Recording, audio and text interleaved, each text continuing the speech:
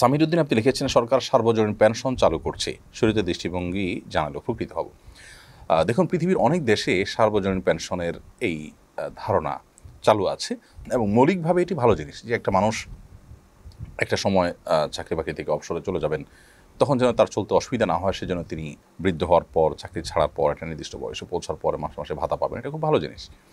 কিন্তু এটার যে প্রচলিত ফর্মেট আছে অর্থাৎ আমাদের দেশে যে সার্বজনীন পেনশন চালু হচ্ছে, যারা সরকারি চাকরি করছেন না, তাদেরও পেনশন নেওয়ার সুযোগ তৈরি হচ্ছে এবং এই আইনটি কার্যকর হওয়ার পথে খুব শীঘ্রই।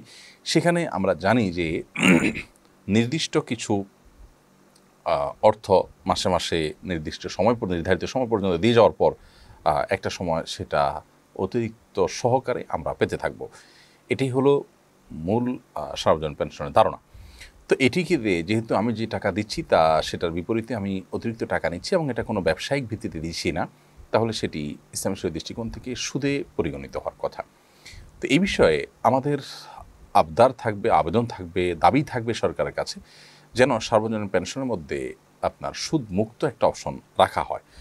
কারণ এদেশে মানুষ সুদকে ঘৃণা করে এবং এজন্য কনভেনশনাল ব্যাঙ্কগুলো চাইতে সরিয়াভিত্তিক ব্যাঙ্কগুলোর চাহিদা সাধারণ মানুষের কাছে কোনো ক্রমে কম নয়, বরং অনেক গুণ বেশি। তো এই জন্য সাধারণ মানুষের যেহেতু সুদ থেকে বাঁচার একটা প্রচেষ্টা আছে এবং মানুষ সুদকে ঘৃণা করে, অতএব সার্বজনীন পেনশনটা সত্যিকার অর্থে সার্বজনীন পেনশন হবে এবং সবাই এটাতে সামিল হতে পারবে তখনই যদি এটার সুদমুক্ত অপশনও চালু থাকে। কারণ সুদের অপশন যদি থাকে এবং সার্বজনীন পেনশন এটাতে সামিল হতে গিয়ে যদি সুদ দিয়ে জড়িয়ে যেতে হয়, তাহলে অনেকেই কিন্তু সেখানে জড়াবেন না এবং সেটি থেকে দূরে থাকবেন। বিধায় ওলামা ইকরামের কাছ থেকে যদি ধারণা চাওয়া হয় যে কোন ফরম্যাটে হলে এই জিনিসটি সুদমুক্ত হতে পারে, তাহলে সুদমুক্ত একটা অপশন যারা সুদ থেকে বাঁচতে চান তাদের জন্য রাখলে সেটা হবে সময়ের সবচেয়ে প্রয়োজনীয় কাজ। আমরা সে দাবি কিন্তু সরকারের কাছে জোরালোভাবে রাখতে চাই। ইউসিফ বিন এবি রহমান আপনি লিখেছেন, আমি জাপান থাকি, একটা দোকানে কাজ করি। সেখানে হালাল পণ্য আছে, হারাম পণ্য আছে। এখন আমার ইনকাম করা টাকাটা হালাল হবে কিনা? হালাল হারাম দুই রকমই যদি থাকে, আপনি যথাসম্ভব হারাম পণ্য সার্ভ করা, বিক্রি করা, এটা আপনি করবেন না। সেখানে অমুসলিম থাকলে সে তা এটা করবে।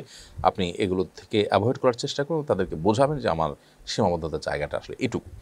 যেহেতু হারাম পণ্যের আইটেম অনেক বেশি না, সেগুলোতে যদি আপনি বাঁচার চেষ্টা করেন এবং বেঁচে আপনি করতে পারেন কাজ, তাহলে সেক্ষেত্রে এটি আপনার জন্য জায়জ হবে। আর যদি সেটা না হয়, সে সুযোগ যদি না থাকে, তাহলে আপনার জন্য এখানে চাকরি করা জায়েজ হবে না। ভাই হারুন হারুন এইচ রশিদ, আপনি লিখেছেন অ্যাসির পানি দিয়ে উজু করা যাবে কিনা?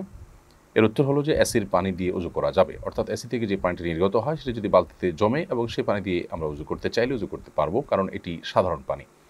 এই পানিতে কোনো অপবিত্র বস্তু যেমন মেশেনি, ঠিক তেমনিভাবে এই পানিতে এমন কোনো পদার্থ মেশেনি যার ফলে পানির পানির গুণাগুণ, পানির রং, পানির স্বাদ, পানির অন্যান্য বৈশিষ্ট্যগুলো পরিবর্তন হয়ে যেতে পারে। এরকম কোনো পরিস্থিতি কিন্তু এই পানির মধ্যে আপনার তৈরি হয় না, যার কারণে সেটি দিয়ে উজু করা যাবে। এ বিষয়ে কাতার ভিত্তিক ফতোয়ার বিশ্ববিখ্যাত ওয়েবসাইট ইসলাম ওয়েব, মার্কাজুল ফতোয়া, সেখানে মুফতিগণ অ্যাসিড পানি দিয়ে উজু করা যাবে মর্মে ফতোয়া দিয়েছিলেন। অতএব অ্যাসিড পানি দিয়ে আমরা উজু করতে পারব। এমনি মোস্তাফিজুর রহমান লিখেছেন, মৃত ব্যক্তিকে যখন গোসল ও দাফন কাফন করা হয়, মৃত ব্যক্তি কি তখন তা উপলব্ধি করতে পারে? দেখুন, বিভিন্ন হাদিস থেকে জানা যায়, মানুষ মৃত্যুর পর তার লাশ বহন করার ক্ষেত্রে, লাশ এক জায়গা থেকে আর জায়গায় স্থানান্তর করার ক্ষেত্রে, কবরে নেওয়ার ক্ষেত্রে যেন খুব ধীরে সুস্থে নেওয়া হয়। কারণ যদি তা লাশ নেওয়ার ক্ষেত্রে হুলস্থুল করা হয় সেক্ষেত্রে মৃত ব্যক্তি কষ্ট অনুভব করেন। এরকম একটা বর্ণনা কিন্তু আছে। তো সেই বর্ণার আলোকে বোঝা যায় যে, অপ্রয়োজনীয় কষ্ট দেয়া যেটি মৃত ব্যক্তির লাশকে যেমন কাটা, ছেঁড়া ইত্যাদি করা হয়, এগুলো প্রয়োজন ছাড়া করা উচিত না হোসেন আহমেদ লিখেছেন, জুমার দিনে দ্বিতীয় খোদ্বায় হাত উঠিয়ে দোয়া করা কি জায়েজ? জুমার দিনে দ্বিতীয় খোদ্বায় আপনি শেষ মুহূর্তে, শেষের দিকে এসে একজন ক্ষতি হিসাবে ক্ষতি বলে আপনি দোয়া করবেন নিজের জন্য মুসলিম মিল্লাতের জন্য, এটি সুন্না কিন্তু এই দোয়ায় হাত তোলা সুন্না নয়। নানা বিসাদ আলাম থেকে এটি সাবেত, না কোনো সাহাবি বা খোলাফায় রাশেদা থেকে এটি সাবেত। এটি মুখে দোয়া করা সুন্না মুসলিটার সাথে আমিন বলতে পারেন এতটুকু। কিন্তু হাত উঠানো সুন্না নয়। আমিন বলাটাও উচ্চস্বরে নয়। যার যার মতো নীরবে তিনি আমিন বলতে পারেন। রফিকুল ইসলাম, আপনি লিখেছেন, বন্যা, জলোচ্ছ্বাস, ভূমিকম্প এ ধরনের প্রাকৃতিক দুর্যোগগুলোকে অনেকে আল্লাহর আজাব মনে করছেন। একই সঙ্গে অনেকে এ ধরনের দুর্যোগে মৃত্যুবরণকারীরা শহীদের মর্যাদা পায় বলে মনে করেন। আজাবে পতিত হয়ে মৃত্যুবরণকারী আবার কীভাবে শহীদ হতে পারে? খুবই দরকারি একটি প্রশ্ন এবং আপনি ঠিকই বলেছেন ভাই রফিকুল ইসলাম যে এটি সম্পূর্ণ কন্ট্রাডিক্টরি একটি বিষয় যে আমি বন্যা, জলোচ্ছ্বাস, ঝড়, ভূমিকম্প এগুলোকে গণহারে আজাব বলব। আবার সেগুলোর মৃত্যুবরণকারীদেরকে হাদিসের ভাষ্য অনুপাতে তারা সাহায্যের মর্যাদা পান, সেই হিসাবে শহীদ বলব। এটি সাংঘর্ষিক। অর্থাৎ এ জাতীয় আপনার প্রাকৃতিক দুর্যোগগুলোকে গণহারে বা সাধারণভাবে আমি আপনার বলব যে সেগুলো আপনার আজাব আল্লাহর, সেটি বলা মোটেই সমীচীন এবং উচিত নয়। বরং এগুলো আল্লাহর পক্ষ থেকে আজাব যেমন হতে পারে আমাদের পাপের কারণে, আবার এটি আমাদের জন্য আল্লাহ তরফ থেকে পরীক্ষাও হতে পারে। আবার এটি আমাদের মর্যাদা বৃদ্ধির কারণ হতে পারে। এটি সুন্নাতুল্লাহ ফিল আর্দ হতে পারে। অর্থাৎ একটি আপনার নদীমাতৃক এবং সমুদ্র তীরবর্তী এলাকা ঝড় জলোচ্ছ্বাস হতে পারে। এটা অস্বাভাবিক বিষয় নয়। এর মাধ্যমে আল্লাহ তালা এই অঞ্চলের মানুষকে পরীক্ষা করেন। এখন আপনি বলতে পারেন যে তাহলে যে সমস্ত এলাকা নদীমাতৃক না, যেখানে ঝড় জলোচ্ছ্বাস হয় না, ধরুন সমুদ্র আছে, মিডিল ইস্টে, কিন্তু সেখানে ঝড় জলোচ্ছ্বাস হয় না, তাহলে আল্লাহর পরীক্ষা শুধু এই অঞ্চলের মানুষের জন্য? উত্তর হলো, প্রত্যেক অঞ্চলের মানুষের জন্য পরীক্ষা।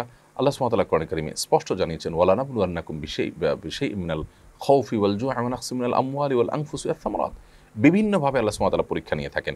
এক এক অঞ্চলের মানুষের পরীক্ষা এক একভাবে হয়ে থাকে। মরুভূমির মানুষের পরীক্ষা একভাবে। এবং নদীমাতৃক এলাকার মানুষগুলো তাদের পরীক্ষা হয়তো অন্যভাবে, কিন্তু প্রত্যেককে আল্লাহ তার পরীক্ষার মুখোমুখি করেন। বিধায় পরীক্ষা হতে পারে, আর পরীক্ষায় মৃত্যুবরণকারী ব্যক্তি সাহায্যের মর্যাদা লাভ করতে পারেন। তিনি যদি সবর করেন, তিনি যদি ধৈর্য ধারণ করেন, আল্লাহ তালার কাছে সাহায্যের মর্যাদা তিনি পেতে পারেন। বিশেষ করে এই সমস্ত দুর্যোগ যারা মৃত্যুবরণ করেন, হাদিসের ভাষ্য অনুপাতে তারা সাহায্যের মর্যাদা পাবেন। বিধায় গণহারে এটাকে আল্লাহর আজাব বলা মোটেই সঠিক নয়।